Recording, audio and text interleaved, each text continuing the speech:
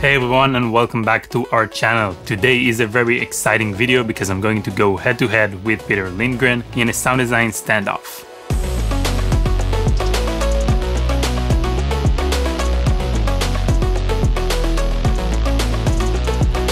Peter is one of my favorite filmmaker YouTubers and I really like his work and in this video we're going to see who's the better sound designer. This video is all part of our sound effects challenge which we're running right now and if you don't know anything about it, there's a link down in the description that will take you to a video explaining everything you need to know. So essentially me and Peter are going to make the sound design for the same edit which is going to be sort of like an entry to the Artlist Sound Effects Challenge. It's a one minute edit with footage from ArtGrid and to make this challenge interesting we're going to use only the free sound effects pack that we give away for people who don't have an Artlist subscription so that they can also enter the competition and make their edit for the challenge. So we're only going to use that um, in this video. It's about 30 sound effects and it's definitely going to be really challenging trying to find out how to make a full um, sound design for the one minute edit um, using only these sound effects. So before we start, let's say hi to Peter and then I'm gonna show you guys the edit and um, we're gonna start making the sound design. Artlist and Yuval, thanks so much for inviting me to join in on this sound design competition or combat. I don't know what you want to call it, but I'm super eager to see how you're gonna make your sound design and what we're gonna come up with. So let's get to it. All right, so no more talking. Let's get this challenge started. And I'm pretty sure I'm gonna win. Sorry, Peter. But yeah, let's get going. So here I have the free 30 sound effects pack and um, let's listen to a couple of these and see what we have to work with. Let's see, some ambient stuff. Tiger sound effect.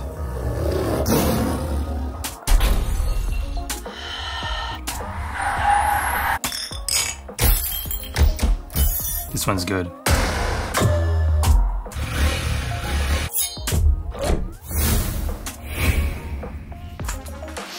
Okay, some pretty nice sound effects here. It's not going to be easy, but I think I can do it. And it's gonna be very interesting seeing like how different the two edits are gonna be like between me and Peter. We are pretty limited because we're using only the 30 sounds, but I do think that um, our two edits might end up being uh, completely different, which would be really cool. So yeah, I'm gonna start doing this sound design and um, I'll actually finish it up and then we're gonna break it down together. So I'm gonna start doing it now. Okay, so we're in Premiere and I've opened up my project and there's quite a lot of sounds, um, as you can see. It took me at least a few good hours to complete this sound design, so um, I hope you guys enjoy it. And I'm really excited to start breaking this down and show you what I did. So let's get started. And the video starts off with this scene, this motorbike spinning around, um, and it's very powerful. It's a very powerful scene, so I really wanted to emphasize that with this sound design and like just start off the edit with a lot of power and energy. So the first sound that I have here is this sound. Then we have this engine going. And the last one is sort of like an ambience. It's actually supposed to be like a beach. Even though it's not an actual motorcycle sound effect, um, it works in this situation. And that's pretty much what I've done throughout this whole edit. I've taken sounds that are meant to be one thing and I've used them for another thing because I'm really limited with like only the 30 sound effect. So the three sounds together.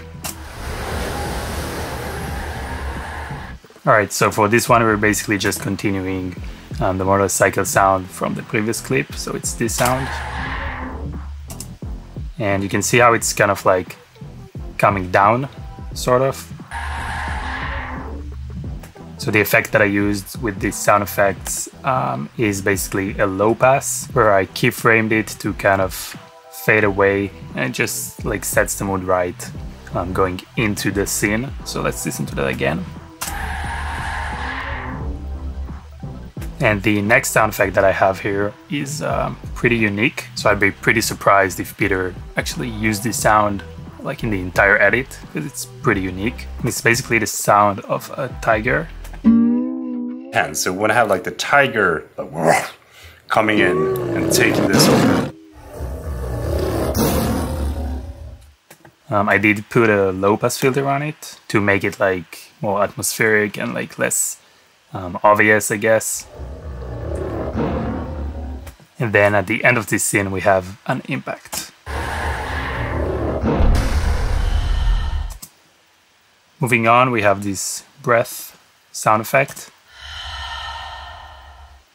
And then for the next scene, we have two footsteps.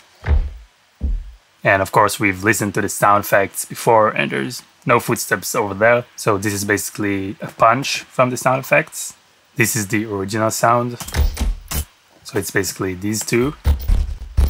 And then I just applied a low pass, and there you have it, footsteps. And for this next clip, which was this guy in an ice bath, this one I really enjoyed putting together. So let's have a listen.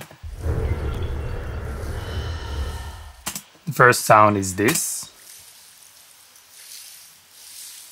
And this is the next sound. To kind of give the lower frequencies. So the previous one was more higher frequencies, this one is lower. Um, so I'm basically creating depth. And for this one, I really wanted this like bubbly, deep kind of water sounds. So the first thing I did was apply the equalizer. And again, I lowered the higher frequencies. And then I also applied a denoise filter, which also helps kind of focus more on those deep um, sound effects. So denoise is another effect that you can uh, try out and play with.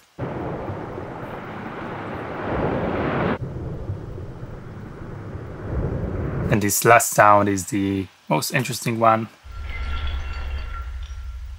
So I wanted something to resemble the ice moving around the water.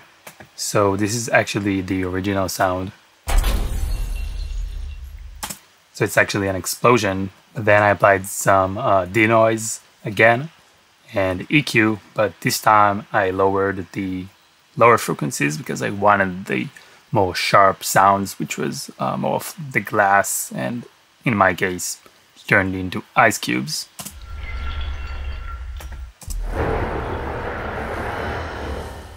Little breath there as well. Moving on, we have this. So same thing again with the footsteps. It's just the punching from the fight scene sound effect, again with a lot of low pass. And then just at the beginning here, I actually put a sword sound effect. Um, I don't know why, but like lens flares um, kind of give off, like for me at least, this kind of like sharp sound effect. It's almost like you can hear the glass of the lens. So in my head, it makes sense. And for this, I used some reverb and analog delay. Then the next thing we go into is a pretty powerful and fast um, action going on. So I wanted to have a sound that kind of leads on to that, kind of builds anticipation. So I took the sound effect of an explosion and then I reversed it. So I basically did right click, speed and duration, and reverse speed. So then we went from this basically to this. So for this scene, we kind of have a lot of sound effects. So with this scene, the way I approached it is I kind of looked first at what was obvious that I needed, uh, which in this case is the um, punches and maybe some whooshes. And that's kind of like on the surface, that's like the obvious, the first things that you think about. And then I built on that and went like a level deeper um, to more ambient, atmospheric sound effects. And that's usually what I do because it's just easier to start off with the obvious and then move to more creative and atmospheric stuff. So that's my usual workflow. So let's listen to only the obvious sound effects. And that sounds pretty good. Like you could leave it at that, and that's what a lot of people do. But to get it to the next level, we need to add more impacts and more surround sound effects. So this is the same thing, but just uh, with two impacts added. And just those two impacts already made this much better, but that's not everything. I basically wanted to give the feeling of the fight happening like with a crowd. So I wanted to add in some noise and uh, there's no sound effects of a crowd in the sound effects bundle, but I've managed to just use some other sound effects and manipulate them to make it sound sort of like a crowd or more of like a general noise. The first one is this one. And this is actually the sound of a street.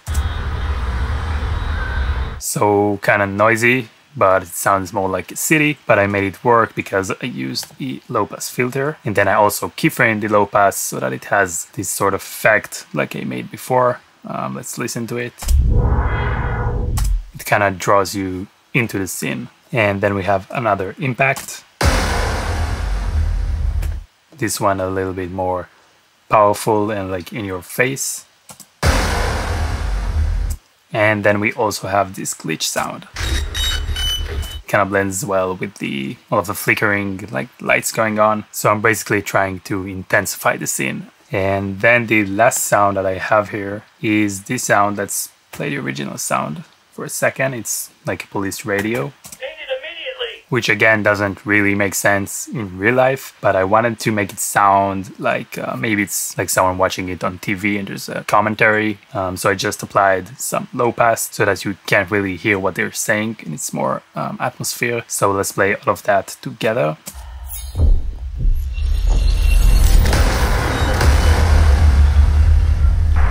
For this shot, I only have an impact and also just sounds from the previous clip uh, going into this one, which is also something to keep in mind. It always blends in better when you pull out the sounds like going into the next visual. It helps things uh, flow more naturally and uh, it really smoothen out the edits. So don't cut your sound effects right where the visual starts or ends.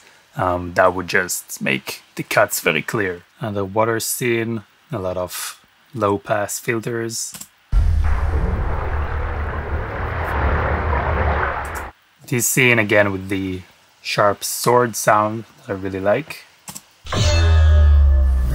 And this time I've added some distortion and the low pass. And I've also slowed it down to like 40%, so it drags on for longer. Then these two impacts uh, really add a lot.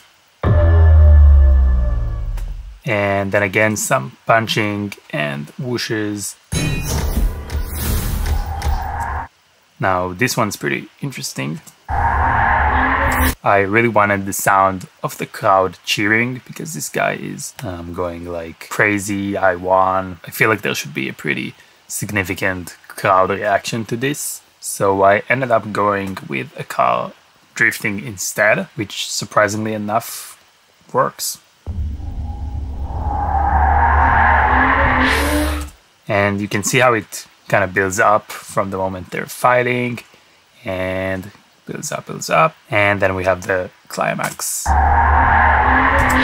over here, and then it fades away into the next shot. And this is again just using a low pass filter and keyframing it. So we get this build up and we get a more dynamic edit. And let's see how this would have sounded if I just used the low pass without keyframing But when you add the keyframes, then all of a sudden it makes sense. And for this one, I decided that instead of focusing on the action, which is this guy running, like I could have just made the footsteps, um, I wanted to actually emphasize the movement of the camera. You can see it's going pretty fast um, up these fence we have a lot of motion blur, we have a lot of shakiness, and I really wanted to emphasize that. I decided that I would just add whooshes for when we have these uh, metal parts of the fence just going by in the foreground and I think it really helps feel the speed and the movement in the shot. And I feel like having the sound of the elements in the foreground really adds a lot of depth. For this ice hockey sequence, I think that's where I use the most sound effects in the edit. It cuts kind of quick between the shots, we get different angles. We have the blades going against the ice. We have the hockey stick. We have a lot of movement and a lot of um, dynamic camera moves. So this really required uh, quite some work. So let's break it down. First sound is, you guessed it, again, the sword sound effect, which I like so much. It just works with the blades um, cutting across the ice. Then we have kind of a whoosh. It just really helps with the transition between the three cats. Then I really wanted the constant sound of the blades like skating across the ice. And for that, I actually used this fire sound effect, which sounds like this. with a little bit of imagination, you can see how that is basically skating on ice. So all I did was add the high pass effect, um, made it feel more like ice and less like fire. Then we have this explosion uh, with the glass. And that kind of just feels like the first leg going into the ice. It's a bit dramatic, but I like it. And then I have the same sound effects, but just on a higher volume for when the cuts happen between the shots. Then also uh, car drifting, because why not? And all together we get this. So really it's about looking at the scene and trying to analyze what kind of sound effects um, you're gonna need for this, what the camera movement is, and what's happening in the scene. Again, for this one, I knew there's a lot of movement and there's a lot of like texture between the blades, the eyes. Everything should feel kind of textury, but also um, dynamic and fast. So let's play it one more time. Then we have another water scene and some whooshes here to uh, emphasize the speed. And then these sounds there wasn't any sound of like spinning wheels or anything, which I wanted. So um, I was trying to look for something that would work. And then I actually used this glitch sound effect. There's also the sound of an engine, which even though um, this thing obviously doesn't have an engine, it still makes sense in our head. Some more impacts, sword again, whooshes and impacts, car drifting. And that's basically it. For this i really wanted uh, like someone screaming like yes or something like that. But there was no sound effect uh, in the pack. And this is actually the only thing where I couldn't make something happen from the 30 sound effects that I uh, got with the pack. So um, I was not very happy with that. It's the last two shots. So let's now play everything together with the music and then we'll also play just the sound effects.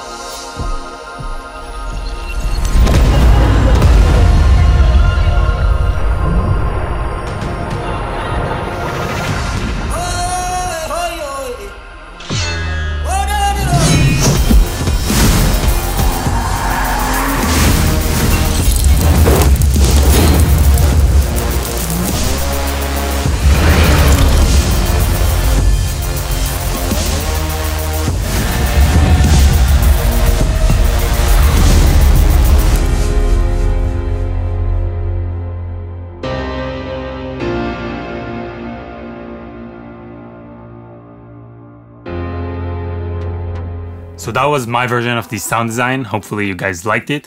And um, now we're gonna watch Peter's and I haven't watched it yet and I'm gonna do it right now live. And honestly, I'm a little bit scared. I'm not really sure what to expect. Hopefully um, it's not too good, but let's watch it now together and we'll find out.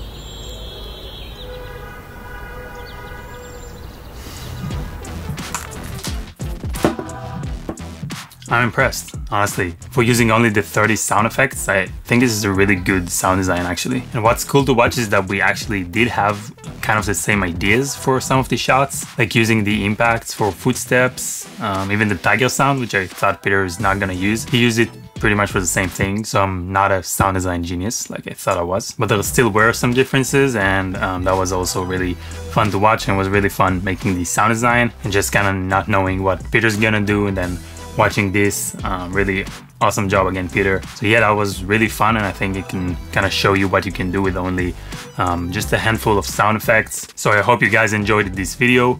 Um, there's only about a week left for the Sound Effects Challenge entries, so don't miss out. There's a link down in the description below with all the information you need to know, so make sure you check it out and enter the challenge. But that's basically it for this video.